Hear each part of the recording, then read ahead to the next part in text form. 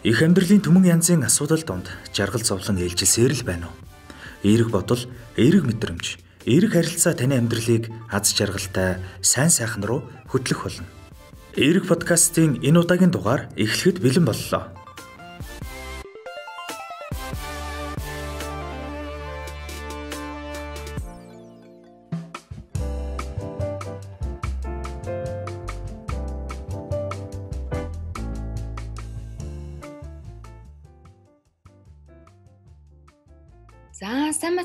Уу? Эрэг подкастын маань энэ удаагийн дугаар эхлэхэд бэлэн болоод байна. Өнөөдрийн дугаарт маань Отгон Ангэр их сургуулийн сэтгэл судлалын 4-р курсын оюутан Номерд маань орцож байна. Сайн байна уу Немо? Өдрийн мэнд хүргэе. Баярлалаа. Сайн байна уу? Аа мөн Эрэг подкастыг сонсдог сонсогчдоо энэ өдрийн мэндийг хүргэе. Аа баярлалаа. За тэгэхээр өнөөдөр бид нар нөгөө Эрэг подкастаараа Номотойгоо хамт бид нар нөгөө өөрсдөө аз жаргалыг хэрхэн бүтээх талаар ерөөхдөө ярилцахаар хэлгээд байна. Бусдыг хайрлаад, бусдын төлөө нөгөө сайн сайхан зүйлийг хийхин хэрээр эргээд биднэрт нөгөө айгүй гоё мэдрэмж төрдөг тий. Тийш үү. Тийм тэгээд айгүй гоё мэдрэмж төрхөөс гадна энэ маань нөгөө эргээд бидний нөгөө биеийн эрүүл мэндэд ч гэсэн айгүй эргээр нөлөөлж идэг. Аа тэгэхээр нөгөө бусдын төлөө яг юуг яаж хийвэл бид нар нөгөө өөрсдөө аж аргалтай байж чадах юм болов уу? Хоёлаа энэ талаар яриагаа эхлүүлье. Өгөөмөр сэтгэл гэдгийг эхлээд бол тайлбарлах нь зүйтэй байх гэдэг байна. Аа. Ярихаас өмнө. Өгөөмөр сэтгэл нь сэтгэл гэдэг нь болохоор одоо нэг бусдын төлөө өөрийгөө эрсдэлд оруулсан байсан ч хамаагүйгээр одоо туслах тийм тэр сэтгэлийн тухай бол ойлголт байдаг. За Өөрөөр хэлэх юм бол нөгөө нэг эгоизм гэж бид ярьдаг шүү дээ. Эгоизмын эсрэг ойлголт юм байна. Аа бусдад одоо туслахын тулд одоо эрсдэлтэй үйл хийх, нэг бол сайн дөр үйл ажиллагаа явуулах, за гэр бүл ойр дотны хүмүүсээс гадна за ерөөсө бидний огт одоо таньдаггүй хүнд ч гэсэн одоо ямар ч тийм нөгөө нэг шан харамж эргээгээд нөгөө нэг хариу хэлгүүгээр туслахыг нь өгөөмөр сэтгэл гэж ойлгож байгаа юм бид байна. За зүгээр энгийн жишээ аваад хэлэх юм бол бид нар нөгөө хин нэгэнд ингээд тусалсныхаа үр дүнд өөртөө ингээд амар гоё сэтгэлийн аж аргалыг мэдэрдэг штэ. Э, амьдрал дээр маш олон жишээнүүд байдаг. Би ингээд нөгөө одоо багтаа э, ингээд боломжтой ингээд тоглож байхад нөгөө э, өндөр настай хүмүүс ингээд нөгөө уустай юм хүнд юм ингээ өргөө явж байхад нь айгүй их нөгөө манай годомчны хөлтөө би бинээс уралдаад очилгүйгээл нөгөө тусаж өгдөг. Юм ингээд хүнд юм авч яваад гэртнээ авчиж өгдөг. Тэгээд эргээгээд энүүгээрээ ингээд өөрөөрөө амар бахархах төрөл тэр үед ингээд амар гоё сэтгэл санаа өөдрөг. Айгүй мундаг юм хийсэн юм шиг. Нэг тийм мэдрэмж төрдөг байхгүй. Эргээд нөгөө хүнээсээ нейтраллаг ямар нэгэн шан харамж авахгүй ч гэсэн энэ бидний бие юм өөрөө өөрийгөө бас эргээгээд юм шагнажид өгүүлэх юм шиг байгаа юм. Ямар хөөрхөн жишээ вэ? Бид нар нөгөө ингээд бусдын толоо ямар нэгэн зүйл хийснээрээ ингээд бид нэр эргээд аз жаргалтай болтгоо. Энэ нь нөгөө үнэн гээд байгаа штэ. Энэ талаар одоо ингээд жишээ аваад тайлбарлавал илүү сонирхолтой болов уу? Би гэхдээ одоо жишээх юм бол нөгөө нэг миний жишээ биш л те. Манай найзын нэг жишээ байгаа юм. Аа. Тэгээд манай сургууль гэр хоёрын хооронд айгу хол. Тэгээд манай найзынхоос ингээд сургуулиас гэртээ ингээд амар хол бид хоёр ингээд орой жонгоо ингээд сургууль дээр хичээлүүд бэлтжиж байгаа. Тэгэл тэр үед одоо нэг курс ажиллаад хийсэн баг. Тэгэл орой жонгоо бэлтжиж байгаа. Яана сүүлийн автоос явах болсон байж тээ гэл хоёулаа гараал амир яарал автоос нь суудсан байхгүй юу. Аха. Тэг бид хоёр ингээд яг ингээд тос тостой яг 1000 мянган төгрөгтэй яг автобусны мөнгөтэй дамждаг. Тэгээд суугаад ингээд 500 төгрөгөө ингээд өгөөл суусан. Тэгээ бас чи ардаас нэг охин орж ирсэн байхгүй юу? Бас нөө сүүлийн автоос нь дамжиж сууж байгаа шүү дээ тэр охин. Тэгсэн чинь нөгөө охин байна нөө мөнгөө хайгаад олдвэ.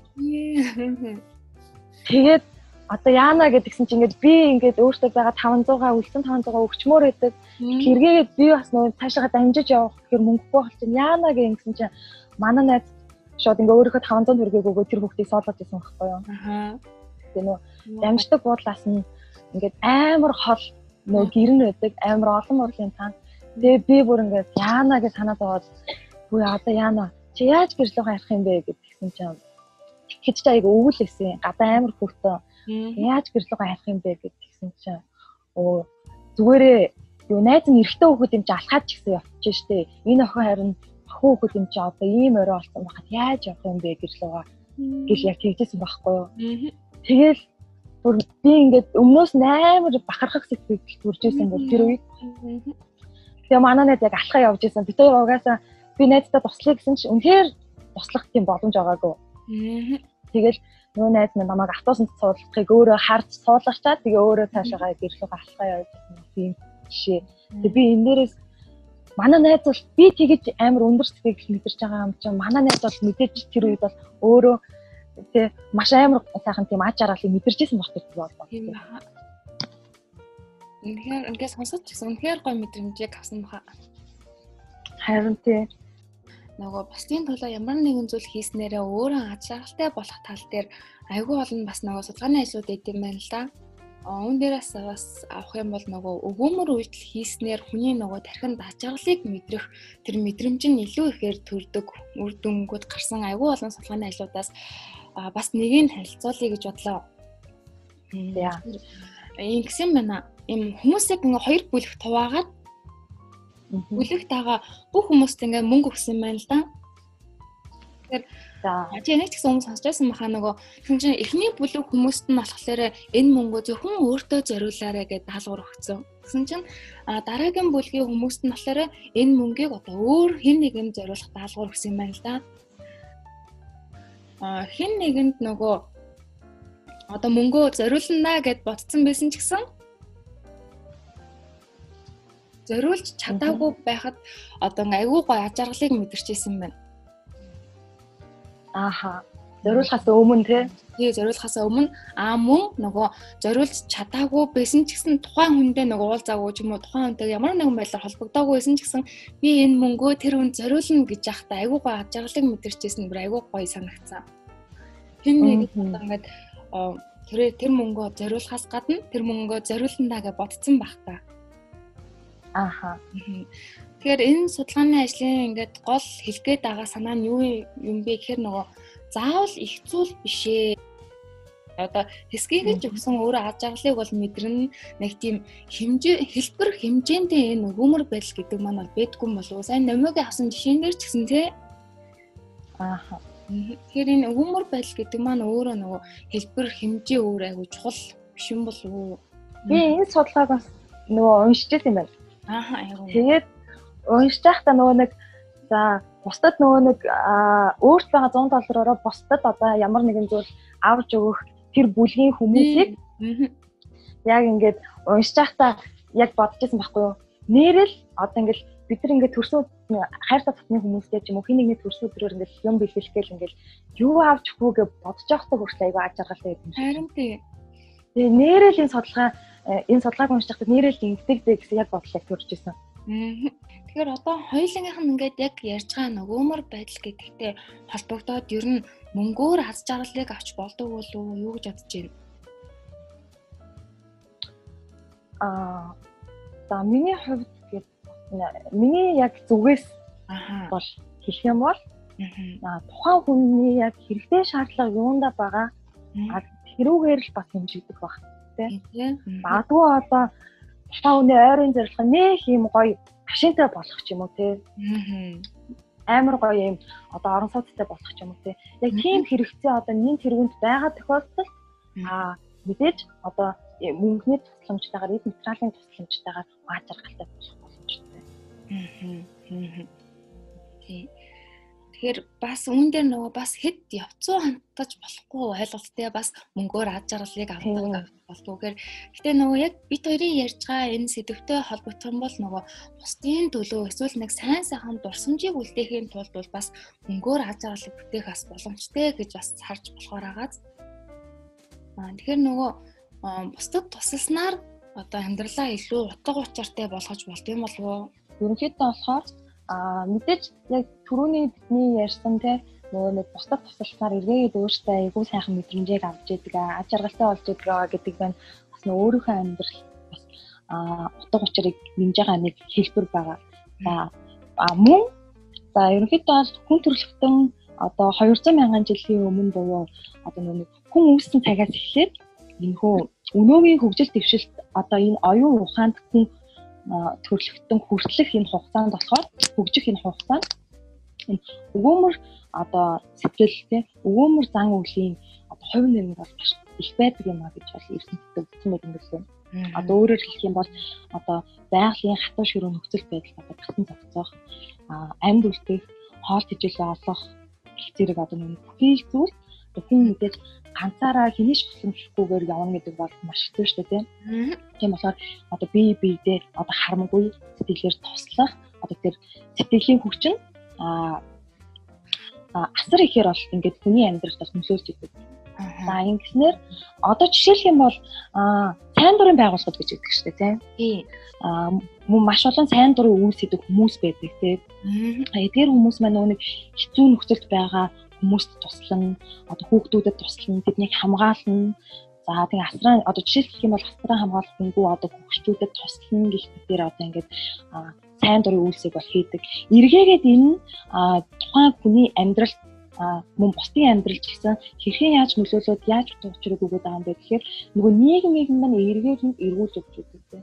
Бид нар яг одоо жишээлх юм бол би а ямар ч хүчирхийлэхгүй өөрийгөө хүссэн одоо сайхан нийгэмд амьдрмаар байна шүү дээ. Тийм тул би эргээгээд нийгмийнхаа тийм болгох ажилд өөрийнхөө өвөөмөр сэтгэлийг одоо зориулах хэрэгтэй. Эндээр эргээгээд би өөрийнхөө амьдрал амьдралын а гоё том тэр утга учирыг бас бий байгаа юм. Аха. Тэгэхээр нөгөө бусдад туснаар амьдралаа нөгөө илүү утга учиртай болгох боломжтой тий угаасаа. Тэгээ нөгөө яг яаж мэдэрх юм бэ гэх юм бол нөгөө тусалсан зүйл маань нөгөө үр ашгаа өгөхийг харах юм бол тэр нь өөрөө биднэрт илүү бүр нөгөө аж аргалын мэдрэмжийг өсгдөг юм байна л да. Бусдад туслан гэдэг нь дан газар эд материал тэгээ мөнгөнд тусламжаас гадна хүн бас нэг эерэг сэтгэл ч юм уу те сайхан инээмсэглэл урмын үг тэр боломжтой боломжтой. Жишээлх юм бол одоо найзтайгаа ингээд яриад сууж идлаа гэхэд найзтайгаа үнэхээр чин сэтгэлээс сонирхож сонсох тий. Тухайн хүний асуудлыг үнэхээр чин сэтгэлээс хандуул сонсон хүртэл хэрэгэгээд үнэ бусдад босч байгааг юм мэддэг.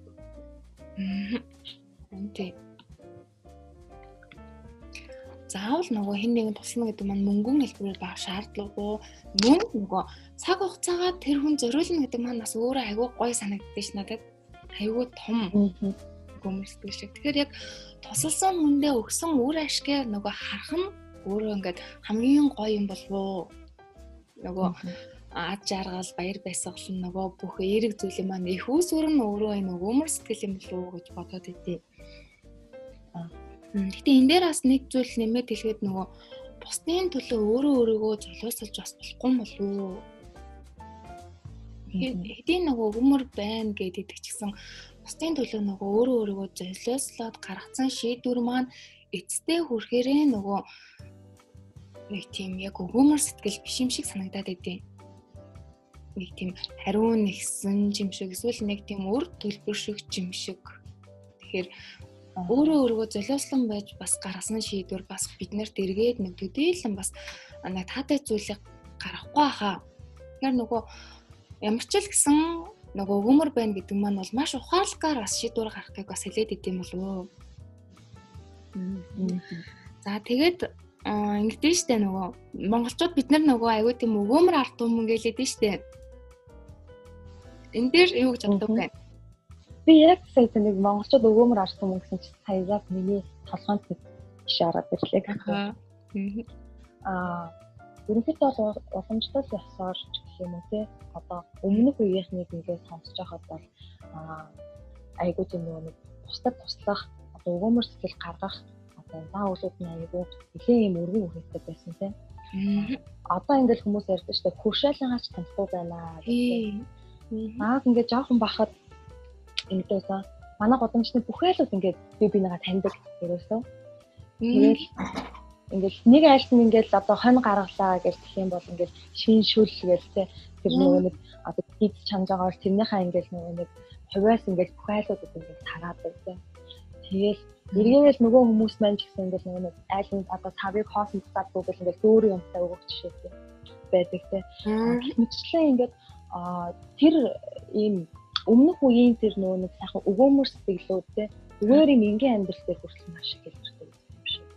Одоо а хөдөөний айлуудыг ярих гэж бодох юм бол малнаа явсан хойгоороо одоо гэртээ одоо нэг идэ цай идэгээ бэлдээ тавьчихдаг те зам зуурын одоо явж байгаа хүн байх юм бол ороод цайлаад гарах гэдэг ийм сэтгэлгээтэй байна. Тэр энэ бол маш энгийн зүйл шүү дээ тий. Заавал нэг юм том тус хүргэж байгаа юм шиг тий ингээл амар том тус хүргий да эхлээсээ илүүтэйгээр бас ингээд жижигхэн зүйлээр сэтгэлээ ингээд өгөөмөр сэтгэлээ бас ингээд харуулж ирсэн юм жишээтэй монголч байна. Тэгэхээр нөгөө бид нар өөрсдөө нөгөө өгөөмөр байхын хэм хэмжээгээ ер нь нөгөө өөрсдийнхөө ингээд соёл дотор ингээд сурчдсан болоод тий одоо бидний энэ одоо ёс заншил, ёс суртахууны хэм хэмжээ дээрээс нь энэ бас нөгөө миний бодлоор шашин гэсэн бас нөлөөд өгдөө. Тий. Одоо шашинг хэдийн ингээд мухар сүсэг гэж бас зарим хүмүүс ингээд хардаг тий. А гэтэл бодны шашин юу гэж таасан байдаг вэ гэхээр өөрт хүсэж байгаагаа бусдад хүс А өөр хүсгүй байгаагаа бусдад бас битгий хүс гэж байгаа. Энэ бас өгөөмөрстэй амар том илрэл байгаа байна. Тийм байна. Ямар гоё үгүй. Тэгээ шашин ч гэсэн ингээд хүнд бас өгөөмөрс гэхээ бас ингээд аа заад сурч идэг, төвшүүлж идэг бас нэг хүчин зүйл юм. Аа тэгэхээр энэ нөгөө өгөөмөр сэтгэл гэдэг зүйлийг хөгжүүлж олт юм болов уу? Ерөнхийдөө бол ертөнцид энэ хоёр зүйл дээр аль айгүй хуваагдсан билээ. Тэр нь болохоор энэ өгөөмөр сэтгэл нь төрлийн одоо өгөгдөл юм уу? Аа нэг уус амьдралын явцад бид нар нэг өгөөмөр сэтгэл суралцдаг юм уу? Төлөвшөнгүй болсон юм уу гэдэг хоёр зүйл дээр аа хуваалцаж байдаг. Тэгээ энэ дээр нэг юм судалгаа байгаа юм л та. Аа Германы Лейпциг хотны хотын Макс Планкийн одоо антропологийн хүрээлэнгийн сэтгэл судлаачдын хийсэн юм одоо шимпанзе дээр хийсэн юм судалгаа байгаа юм л да. За тэгээд энэ дээр болохоор а тай гэх нэртэй одоо эмгтэй шимпанзег бол шимпанзег бол одоо яг юм гол болохоор а түүнийг дагалдуулаад юм 6 эрэгтэй шимпанзег оруулсан байгаа юм нэг нэгээр сорилтонд оруулсан. За сорилт нь ямар даалгавартай байсан бэ гэхээр а ийм дөрвөн одоо юу үрлийг сонгох ёстой байсан. Дөрвөн үрэл гадил жимстэй үрэл байгаа байхгүй юу? Гадил жимснээ. За тэгээд эхний үрлийг сонгуул яг ямар одоо үр дагавартай байсан бэ гэхээр а зөвхөн өөртөө гадил жимсийг авах тийм боломжтой эхний үрлийг сонгох юм бол. За хоёр дахь үрлийг сонгох юм бол а зөвхөн хамтрагчтай гадил жимсийг өгөх. За тэгвэл гурав дахь үрлийг сонгох юм бол энэ болохоор гадил жимсийг одоо нэг хоёулаа авах сонголттой.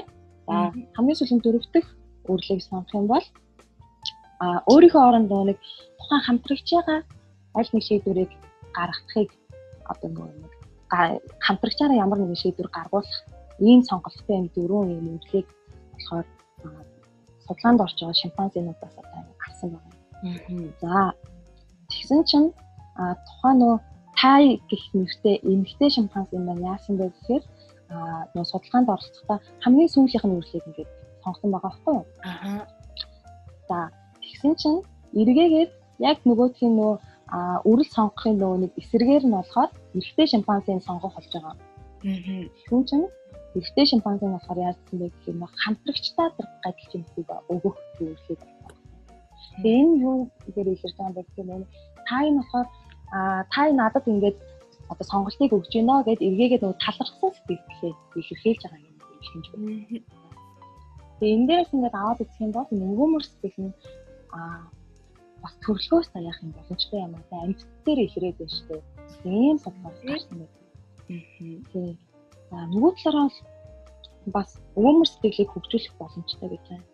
Аа энэ дээр болохоор ийм уран үнцэн арга байгаа алхам байгаа хгүй юу? Аа за. За энэ дээр а таны төрөүний яг дуурсан нөгөө цаг хугацаагаа багтдаг. Аа. Хамгийн ихэнхдээ. Аа. Ерөөсөө хүмүүс хүн төрөлхтөнд ингээд хамгийн одоо чухал хамгийн үн цэнтэй зүйл бол ерөөсөө цаг хугацаа гэдэг. Тийм. За тиймээс одоо ухдаг цаг цаг зарцуулах хан одоо эргээгээд нэг хамгийн үнэтэй тусламж болж ирж байна. Одоо жишээлх юм бол аа үнэхээр ингээд одоо ингээд нийгэм худалдаа хөгжиж байгаа хэрэг ингээд хүмүүсийн амьдрал маш юм одоо завгүй болж эхэлж байна. Тэнгүүд би үнэхээр завгүй байлаа гэсэн өөрийнхөө одоо ажил цагийг одоо зохицуулаад те ядаж нэг цагийг ч юм уу хоёр цагийг ч юм уу те хин нэгэнд зориулдаг баяр одоо хэрэгтэй тусламж хэрэгтэй ч юм уу те одоо таны хэрэгтэй байгаа хин нэгэнд ингээд зориулах нь энэ өөрөө маш том юм юу гэдэг тусламж байдаг. За энэс л ерөөс хамгийн ихний алхам бол хийх боломжтой. Энийг өөртөө тусгуулах юм бол өвөөмөр сэтгэлийн сэтгэлийн одоо хамгийн ихний илрэл гэж байна. Дараа ч арга нь болохоор нөхөрсөг харилцаа. Ерөөсөө ямар ч хүн нөхөрсөг харилцаанд дурган хүн гэж байдгүй шүү дээ тийм тий. Тэ. Тэгээ энэ дээр ингээл аа одоо ингээл нийгэм айгүй стресстэй байна, стресстэй байна гэж хэлдэг тийм. Автобусанд ороод ингээл чихтэлтэй, чихтэл чихтэлч чинь тэгэл хоорондоо ингээл юу шүргэлтэй ингээл би биелэгөө муухай хараад ч гэдэг юм тийм. Энэ болон чи эргээд нэг бусдад айгүй юм стрессийг бий болгож байдаг. Өөрт ч айгүй стрессийг бий болгож байдаг. За тэнгуү тийм энгийн зүйлсээр ч гэсэн одоо тэг нөхөрсөг харилцаа, нөхөрсөг хандлагыг бий болгож өөртөө бас ингэж дадал болгох болох нь эргээд энэ өвөмөр сэтгэлийг одоо өөртөө суулгах бас нэг юм алхам болж байна. Ерөөсөө л айгүй энгийн зүйл гэдэг юм байна тийм. Амар юм хэцүү зүйл бол биш те. За ингээд хамгийн сүүлийн алхам нь болохоор өөрт байгаа ерөөсөө тэр нөөц боломж юу байна тэрүүгээр л одоо бусдад туслах. Аа би ингээл хүн тусламаар байна те. Магадгүй ингээл бид нар аюу ингээд том том юм бодчихдээ шүү дээ. За ингээд ажилдаа ороод гэдэг нэрээ. Тогтсон амьдралтай болоод тэгэл өстэй нэрээ. Одоо тий юу гэдэг гэр бүлийнхандаа тусландаа ээж авдаа одоо ингээд мөнгө явуулдаг болсон доо тий. Тэгэхээр хаа гэр бол нэг ингээд бүр таашлаад ингээд сайн дурын байгуулах үйлдэл ингээд гэдэг тий. Аа өөрөөс ингээд баг юмар ч гэсэн ингээд ерөөсөө хүнд тусалж болж идэг шүү дээ. Магадгүй би англи хэлийг төгссөн эзэмсэн байлаа гэж бодоход үнэхээр англи хэл сурах чин хүсэлтэй хүүхэд байвал тэрэнд яагаад тусалж болох вэ гэж дээ. Тийм тий. Тэгээ энэ бол ерөөсөө ямар ч юм хөрөнгө мөнгө орох шаардлагагүй тий. Би ингээд өөртөө нөөц боломжоор тусалж байна. Аа. Ингээл ийм а гурван энгийн алхмаас эхлээл ерөөсөө энийг өөртөө нөгөөмөр сэтгэлээ бид өөртөө төлөвшүүлэх юм боломж. За тэгэхээр нөгөө өгөөмөр байдал гэдэг маань нөгөө ганцхан хүнд байдгүй зарим нэгэн амьтдад бас байдаг гэдгийг саяны судалгаагаар хараглаа тийм. Тэгээд мөн нөгөө өгөөмөр сэтгэлийг бас хөгжүүлэх боломжтой юм байна. Айгуу гой гой хөгжүүлэх айгуу гой энгийн аргуудыг зааж өглөө намаас. За тэгээд нөгөө ойр ойрхон энийг нөгөө дадал зуршил болгочих юм бол бид нэр эргээд нөгөө айгүй гоё. Сэтгэл зүйн хувьд тайван сэтгэл зүйн хувьд илүү нөгөө эрүүл. За тэгээд илүү нөгөө сэтгэл өдрөө бас явах боломжтой юм болов уу? Тэгээд нөгөө бас нэг юм сонирхолтой судалгаа хийдэм байл да. Өгөөмөр сэтгэлтэй хүмүүсийн нөгөө биеийн эрүүл мэнд нь нөгөө илүү эрүүл байсан судалгааны үр дүн гарсан юм байна. Эрүүл мэнд нь эрүүл тэгэхээр нөгөө нөгөө хүнд туслах, хүнд бэлэг өгөх. За тэгэл өөр хэнийг нэ баярлуулна гэдэг маань айгүй тийм үр дүнтэй юм болов сэтгэл зүйн талаасаа ч тэр би психологийнхоо талаас ч тэр. За тэгэхээр сая номогийн нөгөө ярин дээрээс гарсан энэ бол заавал нөгөө хэмжээндээ бол байдгүй юм байна. Нөгөө хэлбэр хэмжээ. За тэгээд нөгөө ерөөсөө заавал нөгөө мөнгөн гээд мөнгөн одоо ямар нэгэн өгөөмөр байдал гарах гэдэг юм гэж бол байдгүй юм байна нас. За тэгээд ерөнхийдөө нөгөө энэ хүрээд бидний ярилцах цаг ерөнхийдөө дуусж байна. Тиймээс нөмөө одоо нөгөө сонсогчтой хандаад нэмж хэлэх санаа байна уу? За а юуны өмнө за яг ийм яг одоо ийм одоо цар тахлын үед энэ өгөөмөр сэтгэл гэдэг одоо сэдвийг сонгож ярилцсан эрг подкастын одоо хамт олонд баярлалаа. Аа мөн яг одоо энэ те энэ халдварт өвчмөд игдсэн байгаа энэ үед л одоо бидний яг энэ өгөөмөр сэтгэл аа те одоо бидний биднэрт маш их туслах байхаа гэж би бодоод байгаа юм. За жишээлх юм бол юу гэдэг те аа энэ энэ хүү цар тахлыг одоо одоо илүү одоо дэлгэрэнгүүлж одоо тараахгүй тул өөрийгөө ихлээд хамгаалахтай халдвараа хамгаалах нь эргээгээд нөгөө эргэн тойрныхоо байгаа хүмүүс сэтгэлийг бат халдвараас хамгаалж байгаа нэг юм өгөөмөр сэтгэлийн нэг хэлбэр бол байгаад байгаа. Аа, ямар гоо юм бэ? Тийм. Тийм учраас аа өөрийгөө ч өөртөө ч мөн босбосч одоо өгөөмөр сэтгэл гаргаж те энэ энэхүү халдвараас урьдчилан сэргийлээрээ те гараа тогтмол угаагаараа маска зүгээрээ бэлэгээ өмсөөрэй а гэдэг энэхүү саналыг бас сонсогч нартай тавьмаар байна. А мөн энэ өгөөмөр сэтгэл гэдэг сэдвийг сонгож ярилцсан танд ч гэсэн маш их баярлалаа.